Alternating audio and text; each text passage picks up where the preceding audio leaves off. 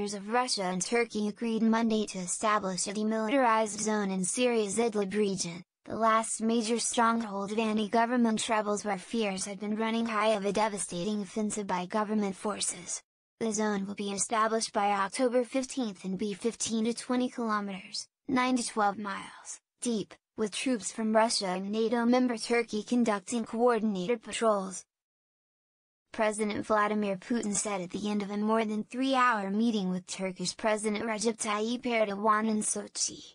The deal marked a significant agreement between the two leaders and effectively delays an offensive by Syria and its Russian and Iranian allies, one that Turkey fears would create a humanitarian crisis near its border.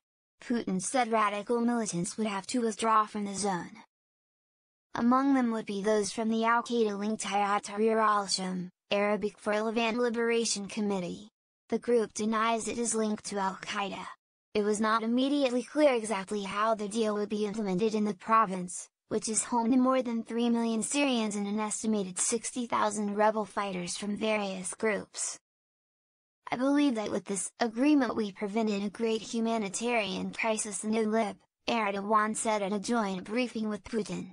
Turkey has been eager to prevent an assault by Syrian government troops in the province.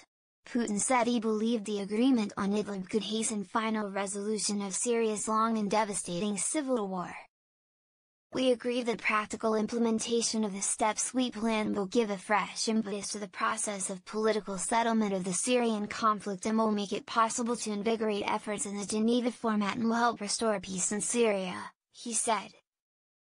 Asked whether Syrian President Bashar Assad's government agreed with the Putin-Erdogan plan, Russian Defense Minister Sergei Shoigu told reporters in Sochi that in the coming hours, we will agree with them on all the positions put forth in this document.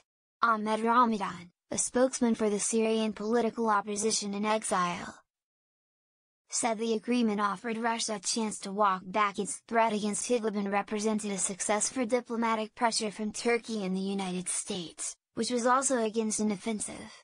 Ramadan also said the deal offers the Syrian government and Russia one of their main demands, which is securing the highway that passes through Idlib and links northern Syria with other cities. That was one of the government's strategic aims in an offensive in Idlib. Turkey offered Putin a ladder with which to climb down from the tree, threatening a military offensive in Idlib that had little chance for success. Ramadan said in a series of text messages with the Associated Press. The Turkish and US serious pressures were the reason behind Russia abstaining from the offensive and offering an air cover.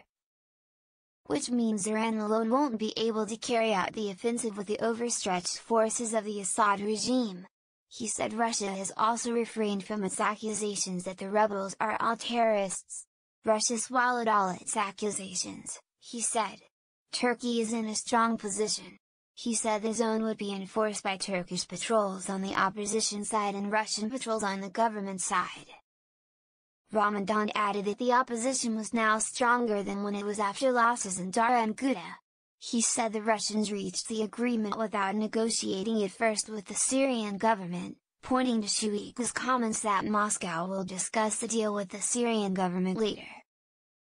Abu Omar, a spokesman for the Turkey-backed rebel group Faylaq al-Sham, thanked Erdogan for preventing an offensive and giving the rebels time to defend their rebellion and people. Millions of civilians in Idlib are in peace, he tweeted. He said he was confident that the deal would not have been possible without the steadfastness of our people and fighters.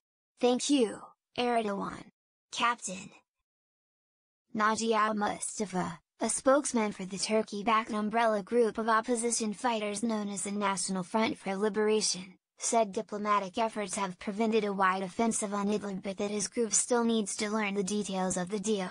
He said the nature of the demilitarized zone and how it would be implemented are not yet clear. We need details, he said, adding that the Assad government has broken many agreements before, including the Russian-Turkey negotiated de-escalation zones. We will remain ready for fighting, he said. Russia has called Idlib a hotbed of terrorism and had said the Syrian government has the right to retake control of it. In recent weeks, Russian officials repeatedly claimed rebels in Idlib were preparing a chemical weapons attack that could be blamed on the Syrian government and prompt a retaliatory strike by the West. Turkey had appealed to Russia and Iran, its uneasy negotiating partners, for a diplomatic resolution. At the same time, it has sent reinforcements to its troops ringing Idlib, a move designed to ward off a ground assault, at least for now. The International Rescue Committee, a New York-based humanitarian group, said the people of Idlib will rest easier tonight knowing that they are less likely to face an impending assault. However, Lorraine Bramwell, the group's Syria country director, cautioned that previous de-escalation deals didn't last long.